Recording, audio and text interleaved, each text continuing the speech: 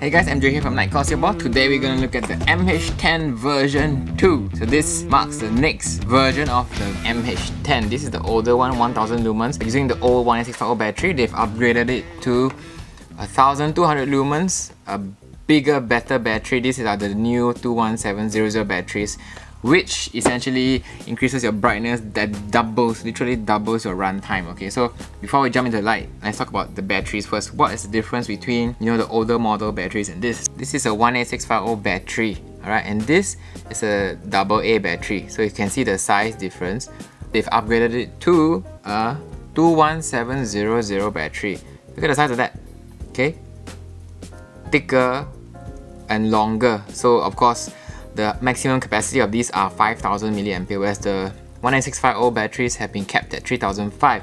So if you look at the light, how the old MH10 looks like, okay, with the old battery, and this is how the new MH10 looks like. Diameter wise, thickness and all that, exactly the same, but they've managed to fit a much bigger, longer runtime battery in there. Alright, so let's jump straight into the new MH10. First off, it does come with this, okay, it has an adjustment here, so no matter how thick your belt is, you can adjust this to get a good fit. Okay, it's a quick draw, so what this means is just pull up and out and you're good to go. Alright, also there's a hole at the bottom of the holster. So if you do have it in your belt and you want to turn it on, you can have it like this. So things like uh, shoulder, shoulder mounted stuff, you can have it like this, okay? I need to make sure that you know that this light is not aimed at the tactical users. So if, if you're in a situation where you need to hammer fist a thing and signal silently and all that kind of things, this is not the light for you, alright? This was made for everyday EDC camping engineers, uh, mechanics. That's why you see the there's no tail cap switch at the back. It's a flat tail cap, so that allows it to tail stand. One of the basic functions of any flashlight is to be able to tail, tail stand, especially if it's a non-tactical kind of thing. 155, 300, and then the last one is uh, of course 1200 lumens. Okay? There. You literally light up the whole room basically you can still stand the thing, okay? That's how the front looks like. 25mm bezel, crenulated. You have your single button here. So the older versions of the MH10 had uh, rubber buttons, okay? These are rubber buttons. So these, if you pull it in and out of the holster, often it does wear out. Whereas these ones are all metal now, okay? Press and hold to turn on. Once it's at lowest mode, you want to change, anytime you want to change mode, just press and hold. Press and hold, you will cycle to the one you want. Once you want, let's say you want this mode, you want to turn off, just click once, when you turn it on again, it will go back to what you left it at. Okay, so if, if I want it at low, press and hold, okay, this is low, and I turn off. The next time I turn it on, will remember the mode and it have it at low lumens, alright? So, so simple, right? There's no fancy uh, clicking anywhere, it's just press and hold to change modes, click to on and off. There is a USB-C charging port built in. Alright, so if you open this up, on the front, now, USB-C gives you a big improvement over the older micro USB cables. So there are no uh, set direction where you have to plug in left or right orientation, right? Whereas the older micro USB cables, you have to fuss with the right orientation, especially if it's in the dark, you need to, oh, I can't get in, why, why not? And then you twist it, then in the end you damage the port on the light and you damage your cable. So USB-C is a much welcome upgrade to this light. So let's, I'm going to show you how you charge it. So just plug it in and plug the other end to any uh, power bank or USB port. Once it's in, you will see the charging indicator here, this blue light. When it's blinking slow, it means it's charging. Okay, when it's blinking fast, okay, I caused the error by unplugging this. See now it's blinking fast, means it's not charging. Once it's fully charged, it will stay constant on, alright? So it takes about uh, 4 hours to charge uh, 5000 milliampere. So this is considered actually a fast charger built into this light, which is something that is uh, also new, is unheard of in uh, flashlights, right? Traffic cone here and the NDF25 uh, diffusion lantern. So the number at the back is actually the diameter of the bezel, alright? So it just fits on like this, there you go.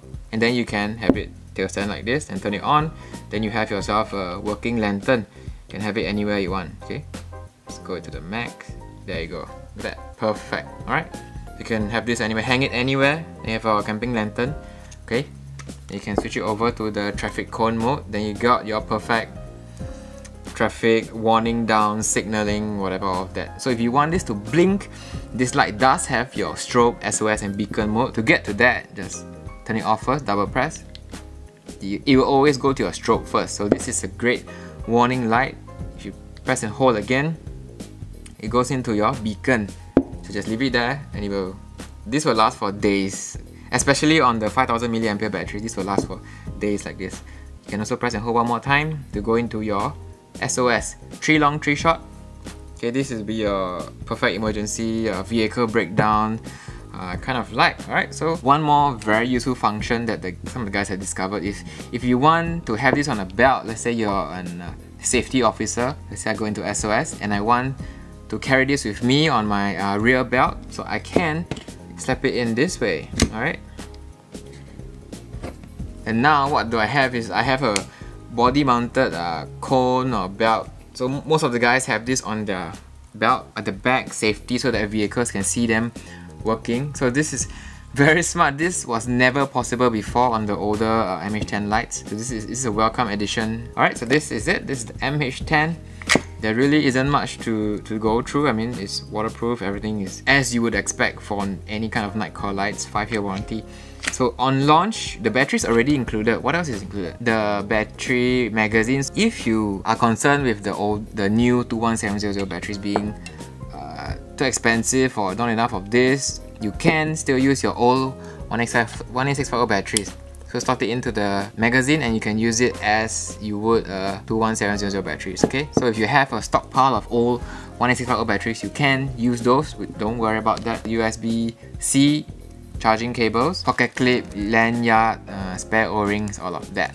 Alright, that's it, the MH10 version 2. Alright, so if you if you're looking to get one of these for your guys, your team, your, your organization, we do have bulk pricing in uh, 1, 3 and 10 pricing, so the more you buy the cheaper it gets.